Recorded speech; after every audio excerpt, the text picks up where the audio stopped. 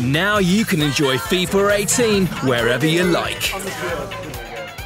With FIFA Ultimate Team, Career Mode, local seasons, and more, kick off your FIFA 18 experience whether you're sat at home or on the move.